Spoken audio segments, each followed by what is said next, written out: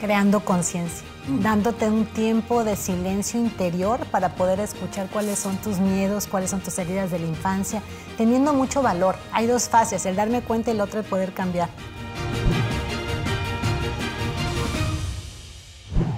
Bienvenido a Todo es Posible. Les envío un grato saludo a toda nuestra audiencia. Gracias, gracias por tu fiel sintonía en cada programa que preparamos con el propósito de edificar tu vida. El día de hoy hemos desarrollado un programa muy interesante. Muy interesante que te hará comprender el impacto y el poder que tienen las palabras que declaras en tu día a día. ¿Qué poder tienen sobre nosotros esas palabras? ¿Y cómo podemos desarrollar nuestro potencial a través de lo que decimos? Hoy nos acompaña la psicóloga clínica y consejera familiar, Erika Monroy. Bienvenida, Erika. Muchas gracias. Bendiciones. Ya tuvimos aquí un programa hace un tiempo atrás. Sí, hace tiempito que vengo aquí. Para mí es un honor y un placer. Le agradezco mucho la invitación y poder contactar con todos ustedes en sus casitas. Hay palabras que nos han marcado cuando éramos niños. Ahora, ¿cómo podemos hacer ese cambio?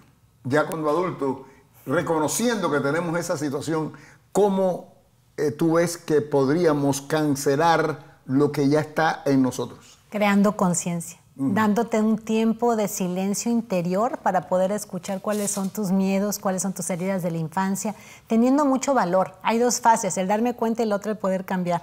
Entonces, a veces, como yo le digo a veces a mis clientes, yo ya sé que tú ya sabes, que yo sé y no haces nada. a veces muchas personas tienen miedo. eh, es muy importante y por eso hablamos del poder de la oración, el poder eh, de la meditación, el silencio en sí, porque te ayuda a poderte darte este tiempo de reconocerte, de ir para atrás, revisar. El reconocimiento es básico en todo. el reconocimiento y darte cuenta de lo que sí, porque tenemos una sociedad donde marca lo faltante, no lo que ya hay, sino ponemos el pero en lo que no y no nos, que no nos tiene. sentemos bendecidos. El aprender el poder del agradecer, del agradecimiento diario, te va a ayudar a poder decretar estas palabras. Y volvemos otra vez al, al- al poder de la palabra en todos los sentidos, en el, en el trabajo, en el matrimonio, en la pareja, contigo mismo.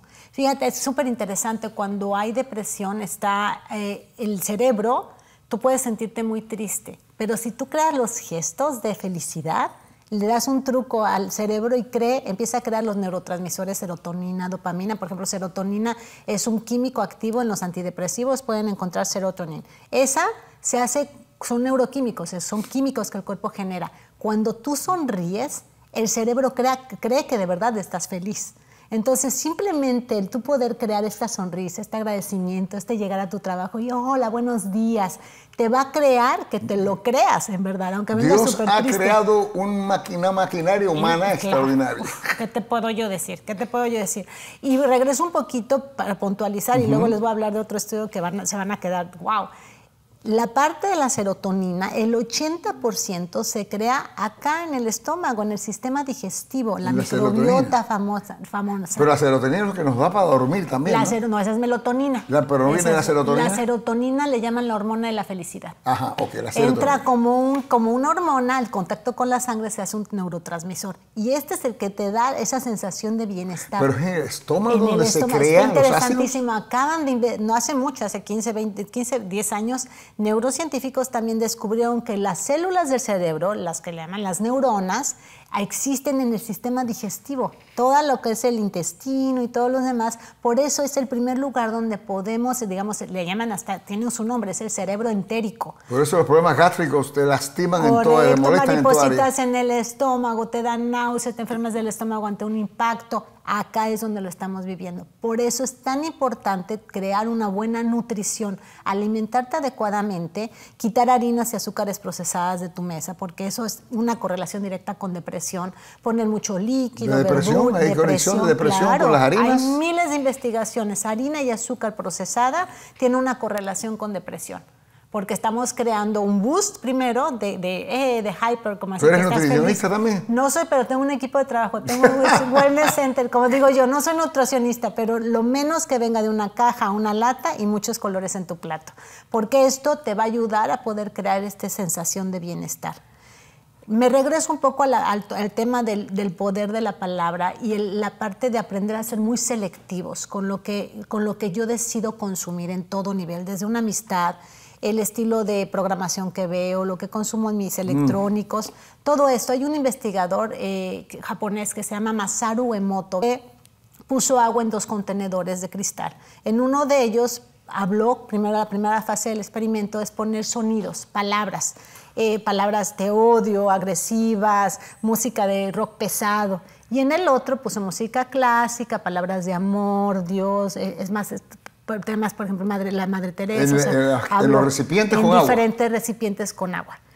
La molécula la vio después en microscopio y se transformó. Estas se ven horribles las manchas y en este como copos de agua divinas, unas, unas formas que, que creo muy bonitas. Las palabras impactaron el agua. Exactamente. Segunda fase del, experimento, lo mismo pero con imágenes pegadas en el, en el contenedor. La bomba atómica o cosas feas y de este lado un campo lleno de flores, bla, bla, bla. Pasa lo mismo con el agua, se transforman las gotas de agua. Somos 80% de agua nosotros. claro. Ahí está más que científicamente comprobado lo importante y el poder que tiene la palabra, lo que escuchas, lo que ves en televisión, lo que decides que entre a ti va a tener un impacto en tu organismo. Es tan importante el poder cuidar la forma, el tono de voz, la textura de voz. Mira, tengo unas preguntas que me han entrado y me quedan cinco minutos. Quiero que tú me contes. Dice aquí la primera, dice, eh, ¿cómo puedo hacerle entender a mi pareja?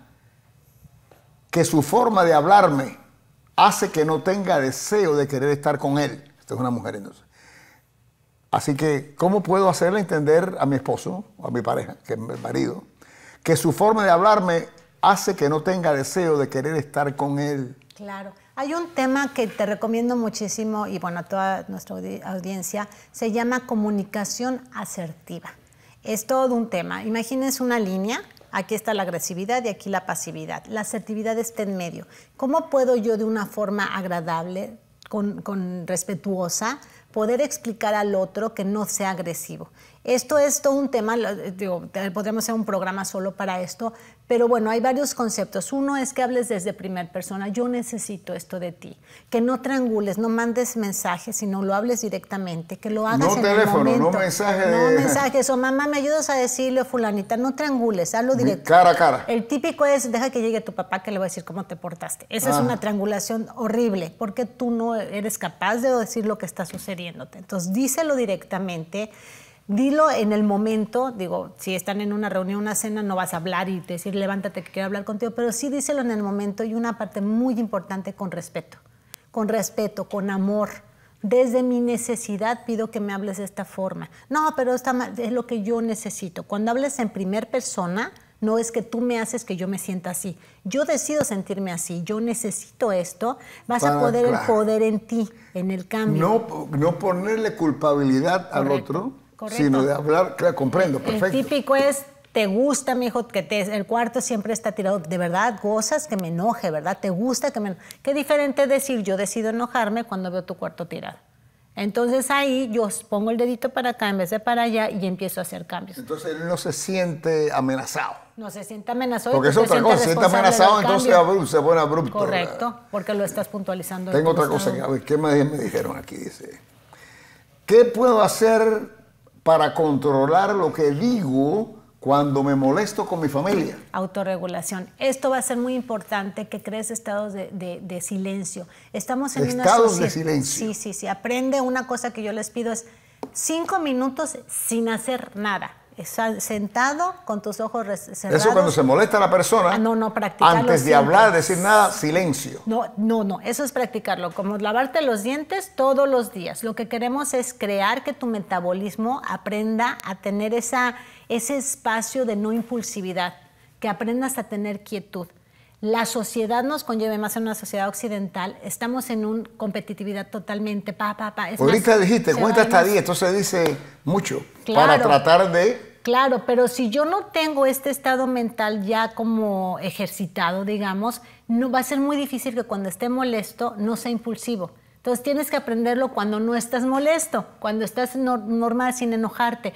Aprender a respirar, aprender a estar contigo mismo, aprender a tolerar el no moverte. Mucha gente no puede estar quieto, tiene que estar en constante movimiento. Entonces el estar en quietud, estar solamente sentado cinco minutos todos los días, para cuando veas vas a ver cómo en el momento que estés molesto vas espontáneamente, intuitivamente vas a respirar y vas a dejar ese momento. Otra cosa que puedes hacer es pedir un time out, tiempo fuera. En este momento no puedo darte la calidad que tú mereces, me necesito salir a caminar, pero prometo que regreso y podemos terminar esta conversación.